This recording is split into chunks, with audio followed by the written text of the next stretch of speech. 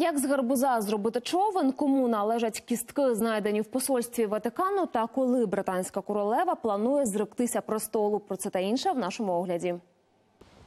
Не розминулися. У Барселоні пасажирський паром врізався у портовий кран. Велетенська машина перекинулась, через що виникла пожежа.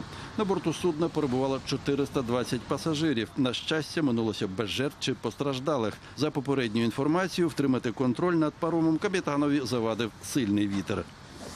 Жахлива знахідка в посольстві Ватикану у Римі. Під час реконструкції виявили людські кістки. За даними італійської преси, останки можуть належати 15-річній Еммануелі Орланді, дочці одного з колишніх співробітників цієї дипустанови. Гучна справа про її зникнення 83-го року досі не розкрита. Однак тоді ж у Римі зникла ще одна 15-річна дівчина Мірелла Григорі. Кому належать фрагменти, встановить експертиза.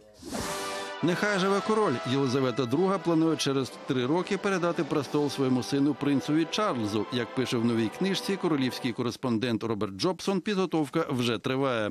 На конфіденційних зустрічах спадкоємця вводять у курс справ. За задумом Чарльз стане принцем-регентом, перебравши на себе всі повноваження. А Єлизавета II формально служитиме своєму народові до самої смерті. Призвичаюється до королівських справ і принцеса Елеонор, 13-річна дочка іспанського короля Феліпа IV та королеви Летиції. Її перший публічний виступ відбувся в Мадриді на урочистостях з нагоди Дня Конституції. Дівчинка зачитала першу статтю в присутності короля, прем'єра та інших урядовців. Уся в маму прокоментувала преса, оцінивши стриманість та елегантність інфанти. Найвищу на планеті статую встановили в Індії. В штаті Гуджарт монумент зі сталі та бронзи увічнив борця за незалежність країни Валбхаю Пателя. Загальна висота скульптури разом із постаментом 240 метрів. Це вдвічі вище за статую свободи в Нью-Йорку.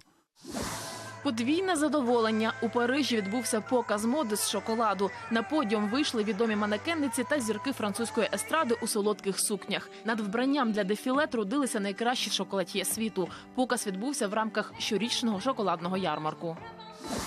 Гарбузоманія у країнах заходу сьогодні відзначають переддень усіх свят Геловін. Моторошну вечірку влаштували футболісти французького ПСЖ.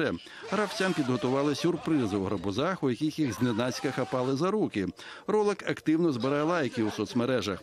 Не менше користувачів подобали британця Тома Пірсі з графства Йоркшир. Він виростив гарбуз вагою понад 600 кілограмів і зробив з нього човен. Цього понеділка фермер-моряк Пірсі здійснив заплив на місцевій річці Уз. Оригінальний плавзасіб претендує на запис у книзі рекордів Гіннеса.